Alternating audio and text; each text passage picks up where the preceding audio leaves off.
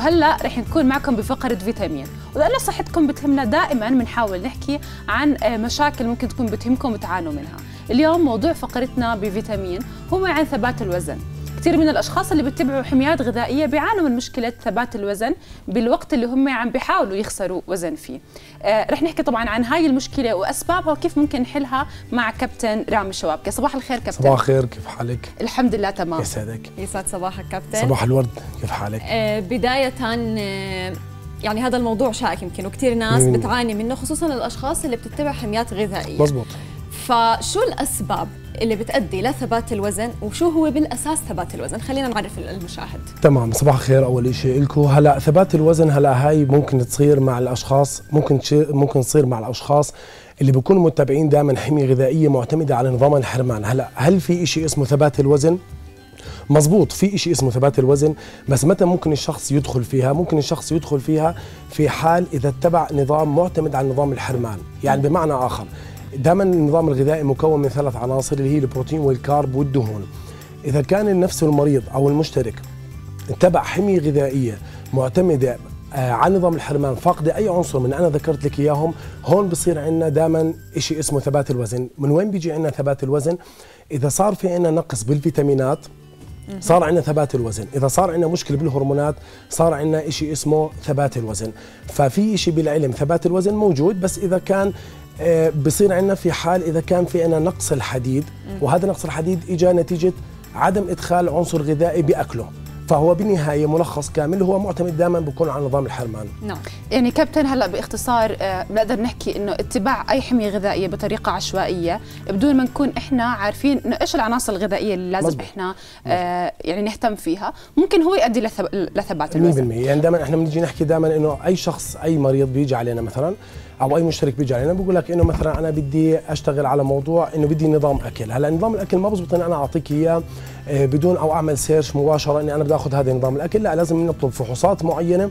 بناء عليها نقدر نمشي على أي نظام أكل إحنا بدنا إياه. طيب بما إنه حضرتك كمان مدرب رياضي نعم. بالإضافة لأنك أخصائي تغذية علاجي كثير من الأشخاص لما يلاحظوا ثبات الوزن ما بيحلوا المشكلة من الأساس أو المشكلة الغذائية وبيلجأوا direct للتمارين الرياضية. مزبوط. هل هذا الشيء ممكن يساعدهم أو بالعكس رح يزيد المشكلة؟ لا بالعكس رح يزيد المشكلة. ليش؟ أنا بقول لك ليش. لا دائما بنحكي إحنا إذا كان دائما أنت معتمد على نظام الحرمان بالأكل ورفعت هاي انتنسيتي معك بالرياضة فأنت رح يأخذ مخزون الطاقة من العضلات نفسه. فأنت صفيت رح تنزل وزن على الميزان لكن عضلات. لكن هذا مش حل. الحل إنك أنت تبلش بحمية غذائية. م. معتمدة على عناصر غذائية كاملة اللي إحنا ذكرناهم كامل وبفضل دائما تحت إشراف أخصائيين مختصين بهذا الشيء ليقدر نعم. يشتغل على هذا الموضوع هلأ ممكن تقدر تصل لحل إذا كنت أنت مشيت بحمية غذائية مع رياضة متكاملة. بقول لك أوكي بتصل لحل. أما آه، واحدة مستثنى منها لا يمكن تصل لحل. نعم. كابتن كثير أوقات آه، بنسمع إنه ممكن حتى اتباع حمية غذائية بطريقة سليمة ممكن تكون ممكن بوقت من الأوقات يصير في عندنا ثبات وزن. هل فعلا إنه أوقات لازم نغير إحنا الحمية الغذائية عشان نعمل تشوك إحنا لجسمنا؟ ويرجع يستوعب إنه إحنا مثلا عم نعمل رجيم وبرجع من أول وجديد بصير في في خسران بالوزن؟ ولا ولا هذا الشيء إذا كانت الحميه الغذائية مناسبة ما بيصير؟ لا شوفي هلا إذا كانت الحميه الغذائية مناسبة وماشي بدخل عناصر غذائية كاملة ممكن يصير عندنا ثبات الوزن. بس متى ممكن يصير عندنا ثبات الوزن؟ ممكن إذا أنا خسرت ودائما معتمد بكون دائما هاي نصيحة دائما نعطيها للمرضى أو المشتركين عندنا. إنك لا عمرك تتبع نظام الوزن على الميزان. انتبع فحوصات الانبادي هي القراءات العلمية اللي بتبين لك نسبة الدهون ونسبه العضلات عندك. م. فإحنا دائما بنقرر متى صار عندنا ثبات. إذا نفس الشخص مشترك عندنا وخسر دهون من 10 ل 12 كيلو بضل له 3 كيلو pure دهون مش وزن على الميزان. pure دهون بالحالة هاي بنقول لك ثبت الوزن بضل ماشي على الحمية الغذائية. إذا الجسم آه، إحنا دائما بنعطي مثلا المريض أو المشترك ماشي على حمية غذائية. بينزل وزنه من وزنه بعد 15 يوم بينزل وزنه بضل على نفس الحمية الغذائية. إذا عمل block مرة واحدة بنضطر ندخل بنظام أكل ثاني ليقدر يكسر هذا الثبات الدهون الموجود نعم. بآخر نعم. شيء. ولكن في مشكلة هلا كابتن موضوع ال InBody test مو دائما بيكون دقيق. آه. وحتى إحنا بنلاحظ من جيم لجيم عم بفرق ال InBody test فمشان هيك يمكن الناس غالبا بتلجأ للميزان. لأنه بالنسبة لهم خلص الميزان شيء ثابت. فأنت هلا عم تحكي إنه لا الواحد يشوف ال InBody test أفضل من الميزان.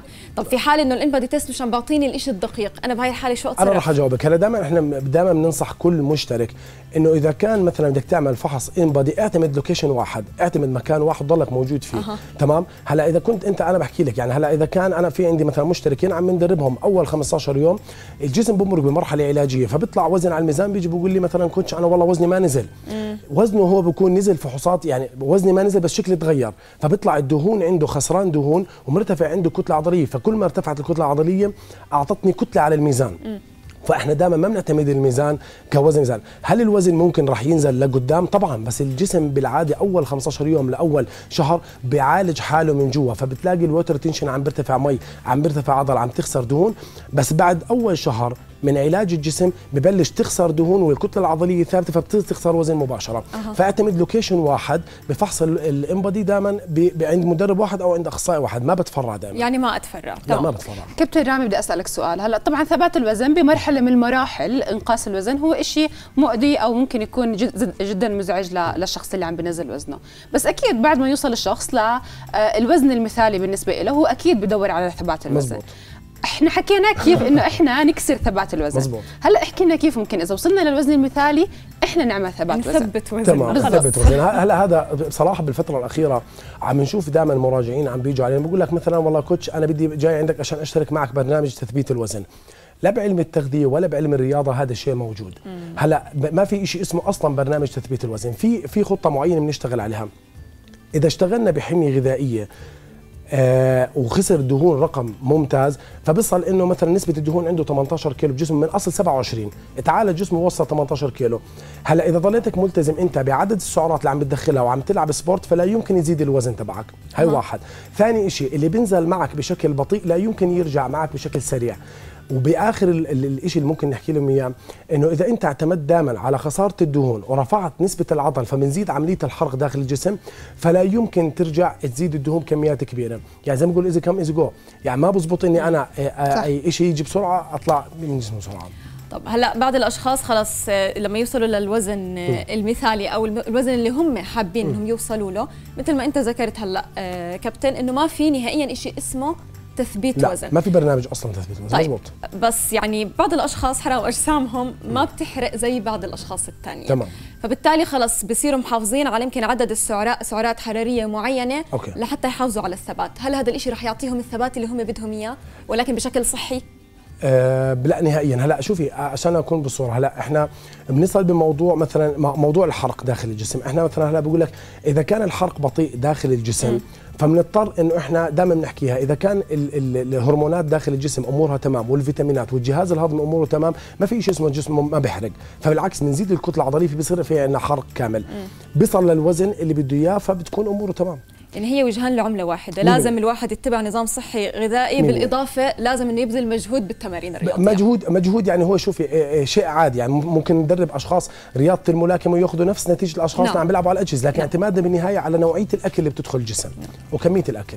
صح يعني بالنهاية بنقدر نفهم إنه اللي ممكن بيجي بسرعة بيروح بسرعة. 100% يعني الشخص اللي بيفقد وزن بسرعة ممكن يرجع للوزن. إحنا بنسميه دائما النزول الوهمي. الناس المعتمدة دائما على نظام الحرمان ومعتمد نعم. على الوزن على الميزان فهذا نزول وهمي. لفترة معينة لمناسب معين إذا تسويها وبعدين هلا لها علاقة بالسوائل إنه ممكن يكون مثلا إنه نزل بسرعة خلص هو فقد السوائل لا هلا هي لا هي شوف سبحان الله هي إذا كان الشخص زي ما قلت لك بنرجع على حلقة ألو... الوصل الوحده بيقول لك إذا اعتمدت على نظام الحرمان فأنت بتنزل على وزن ميزان بس تنزل ثلاث دهون وعضلات ومي. وأنا ما بدي أخسر عضل لأنه كل ما خسرت عضل بقل عندي عملية الحرق فبعمل عندي جسم بلوك مرة واحدة. فأنا كل ما زدت عملية الحرق زدت العضل فالحرق شغال عندي واموره بكون تمام طب في بعض الأحيان للأسف بصير الجسم يعطي نتيجة عكسية.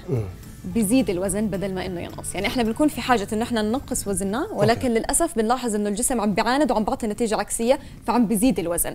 شو ممكن يكون السبب؟ هل هو برضه خربطة بالنظام هلأ شوفي أنا بحكي لك شغلة. هلأ دائما لما يكون عندنا مثلا آه، دائما لما يجي عندنا المريض أو المشترك فإحنا ما بزبط إنه المريض أو المشترك يجي عليه يقول لي مثلا والله coach أنا بدي نظام ال ketogenic diet أو بدي نظام ال low carb. لا إحنا أول ما نطلب منك فحوصات بالمختبر. هاي نعم. الفحوصات بنطلب فيها فحص مثلا للهرمونات كاملة وفحص الفيتامينات كاملة.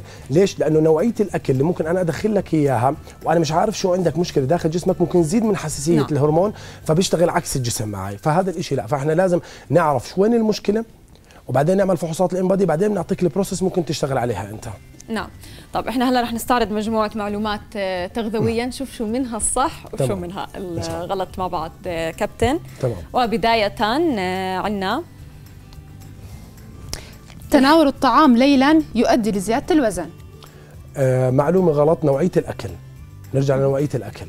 يعني نوعية الأكل اللي بتدخل جسمك؟ هي ممكن تتحكم يا بالزياده يا لا. لا يعني إذا دخلنا مثلا مثلا سوري إذا دخلنا مثلا آه carb بالليل فممكن يتحول لجلوكوز لجلايكوجين ممكن يدخل دهون ما انه ما في حركة بالجسم. نعم. لكن بنختار نوعية البروتين مع الدهون فدائما بننصح نأخذ بروتين مع دهون داخل ال- بالليل يعني. تمام. طب والحميات الخالية أو قليلة الكربوهيدرات هي الأفضل؟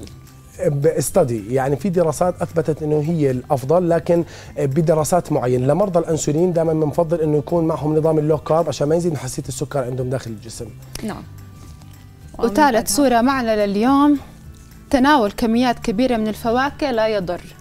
آه بالعكس. هلا دائما بنحكي إحنا الخضروات شو ما دخلتها على جسمك فهي fiber لا يمكن تضرك لكن الفواكه هي سكر تعتبر من سكر الفركتوز فهي بتضر الجسم فبترفع مستوى الإنسولين عندك مباشرة خاصة للناس اللي عندهم type 2 من السكر اللي عندهم مقاومة الإنسولين نعطيهم يأكلوا كمية بسيطة من الفواكه ونوعيات معينة فالفواكه كل ما زادت بشكل كثير كبير راح يرفع عندي ال insulin resistance فراح يصير عندي مشكلة type 2 من السكر. كل أنواع الفواكه؟ لا في أنواع حساسيه السكر فيها قليلة زي مثلا الأفوكادو مسموحة ال strawberry مسموحه التوت البري مسموح؟ هذا عادي بتقدر تأخذه بكميات بسيطة. تمام. جميل. طب شرب الماء بكثرة يساعد على التخلص من السمنة. ما له. هو بيساعد هو وسيلة لكن مش أنا والله بدي أضل أشرب مي عشان والله بدي أنحف. لا لا هو وسيلة. لازم أشرب مي يعني السيدات دائما تصنيفها علميا لازم تشرب من 3 ل 4 لتر مي باليوم. الشباب لازم يشرب من 4 ل 5 لتر مي باليوم. بتساعد على نزول الوزن لكن مش ال- السبب الرئيسي اللي بيساعدنا إنه وما بتكون السبب في زيادة الوزن. ال- طب بالعكس أنا بالعكس. هلأ زيادة المي إني أنا أشرب مي دائما بالعادة بيكون جسم الإنسان في water retention عالي. هو تحبيس مي موجود بين الجلد نعم. وبين العضل. فهذا المي كيف بده يطلع؟ بيطلع انه لازم أشرب كمية مي كبيرة لأقدر أطلع المي الموجودة بين الجلد وبين العضل. نعم. حلو. الخضروات المجمدة أقل قيمة غذائية من الطازجة. يعني آه، مزبوط. هي أقل قيمة غذائية. دائما بفضل دائما الأشخاص اللي اللي بدهم يأخذوا خضار يأخذوا الخضار خاصه الورقي اللي فيه fiber عالي اللي بيعمل على تليين المعدة. فدائما بفضل إنه ناخذها طازة أفضل دائما. بس ما هو مرات ما بيكون موسم الخضرة ال- مثلا مثلا ال strawberry مش موسم الفواكه بهذا الوقت. فبالتالي الناس. بضطر يأخذ الشيء المجمد. هل هذا الشيء يعني ممكن يضره لا لا الضر ما ما راح يضره لكن نسبة الفائدة ممكن تكون في 30 ل 40% نعم تمام. ممتاز. كابتن رامي بدنا منك هيك نصيحة أخيرة للمشاهدين. طيب ستي هلا إحنا دائما بنحكي لل- للمشاهدين دائما بنحكي للمرضى اللي عندنا. بنحكي لهم دائما ما في شيء اسمه تثبيت الوزن نظام تثبيت الوزن حكينا عنه. ودائما ما تعتمد على الوزن على الميزان اعتمد على الفحوصات الطبية والقراءات الطبية. هي أفضل واتجه لأخصائي ليقدر يدير ال- ال- الحالة تبعتك 100% يعني إحنا شاكرين لتواجدك كل اليوم معنا شرفتنا احترام. ويسعد صباحك وشكرا على. المعلومات اللي قدمت. لنا. شكراً. شكرا لك. كابتن شكرا لك